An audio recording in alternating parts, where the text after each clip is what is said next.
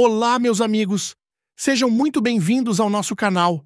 Rodrigo Pacheco afirma que chegou o momento de estabelecer um prazo para o mandato dos ministros do STF. Vamos aprofundar um pouco mais nesse assunto. Mas antes de tudo, não se esqueçam de curtir e compartilhar este vídeo, pois a sua contribuição é fundamental para nós aqui no canal. É o momento para se discutir mandato para ministro do STF, diz Pacheco. O presidente do Senado Federal, Rodrigo Pacheco, PSD-MG, reafirmou sua posição a favor de mandatos para os ministros do Supremo Tribunal Federal, STF. Ele fez essa declaração em uma entrevista ao programa Canal Livre da Band, que será transmitido neste domingo, 26. Passei sempre a ser a favor, destacou o presidente do Senado. Sou a favor de mandatos para os ministros do Supremo, assim como ocorre em vários outros países. Sou a favor do aumento da idade mínima para ingresso no STF. São alterações que sempre defendi e continuarei defendendo, ressaltou Pacheco. E acredito que sim, é o momento de discutir. Na última quarta-feira, 22, o Senado aprovou a proposta de emenda à Constituição, PEC, que visa limitar decisões monocráticas, ou seja, individuais, dos tribunais superiores, como o Supremo Tribunal Federal, STF, e o Superior Tribunal de Justiça.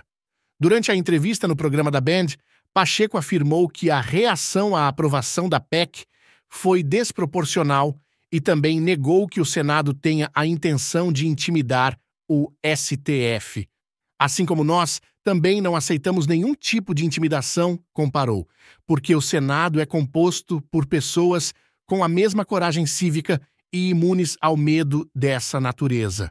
Além disso, gostaríamos de compartilhar algumas considerações do renomado jornalista Augusto Nunes sobre os acontecimentos políticos atuais. Acordo espúrio, né?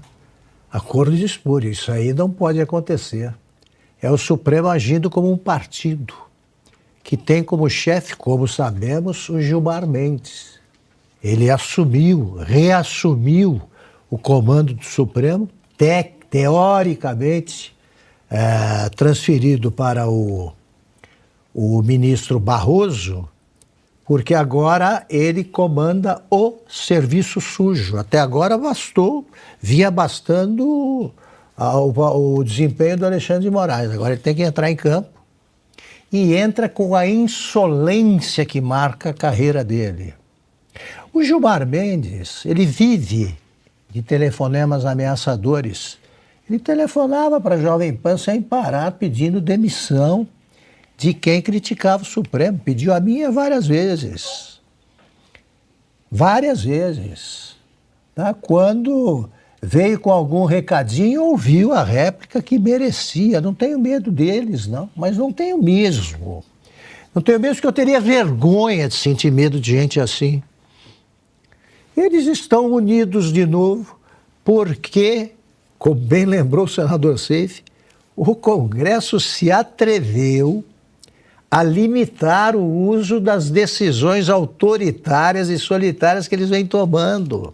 Eles querem que a Câmara aprove um projeto que liquide essa questão. Eles podem sim, com o voto monocrático, eles podem tomar uma decisão que anula decisões tomadas pelos outros poderes. Olha a arrogância, a insolência deste cara que é um advogado. E que é cara, assim, vou chamar de Vossa Excelência. Isso aí fica para a turma que fala em pretório excelso, egrégio plenário, são advogados nomeados pelo presidente da República e, sobretudo, são servidores públicos pagos por nós. Tem que servir ao país. É claro que não dá para cobrar, esperar nada aí de quem trata gente séria como se fosse otário.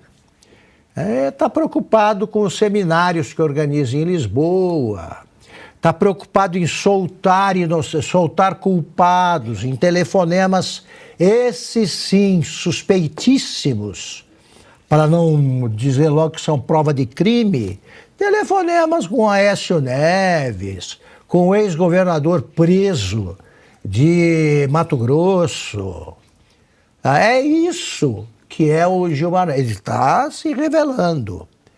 Né? voltando, se revelando para quem ainda não o conhecia. Mas ele ficou imerso um tempo aí só cooptando, para usar a linguagem dele, ministros que ainda hesitavam em seguir um péssimo exemplo. Um péssimo exemplo. O Gilmar Mendes ele só faz política. Ele transformou aquilo num partido. E, de novo, como? O Supremo é o maior problema do Brasil? É. É o maior perigo para a democracia brasileira. Ele ainda acha que todo mundo tem medo. Olha, o Jacques Wagner vai ter de resolver como é que ele quer encerrar a biografia. Esse é um problema à parte os deputados e senadores merecem agora uma vigilância estreita por parte do eleitorado, é pessoal e intransferível. Pessoal e intransferível. O povo tem o dever, os eleitores têm o dever de cobrar agora alguma hombridade. Alguma hombridade. Sabe? Porque menos frouxidão. É disso que se trata. Tem hora em que você tem de mostrar que ah, o medo é vencido pela coragem, pela coragem. Ou são poltrões ou representam o povo. Alguma dúvida sobre o lado que o povo, que a maioria do povo escolheu? Alguma dúvida? Nós andamos pela rua sem problemas. Tentem andar sem segurança para ver as demonstrações de carinho dos brasileiros. Tentem. Tentem, argumentem juridicamente. Pegue um livro do Alexandre de Moraes e tente encontrar lá alguma coisa que justifique isso. O voto monocrático vale mais que qualquer outra coisa. A norma interna do Supremo pode violar a Constituição e querem que seja exigir gratidão do Lula, tá certo? Tá certo. O Lula deve a eles a liberdade.